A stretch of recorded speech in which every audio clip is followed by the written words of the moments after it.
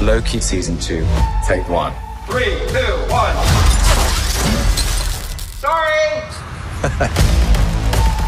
The best thing about this job is the set. It's always alive, and everyone is part of it.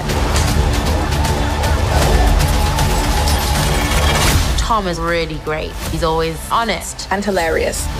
Working with Tom was like being a kid again. He can't, he can't do it. We need to get someone else. He's a bit saggy.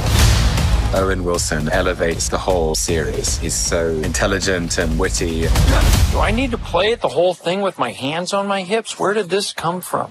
the entire experience of shooting this is going to stay with me for many, many years. It's a really special group of people, like extended family. They keep the joy in the room. All of them do. That's quite magical.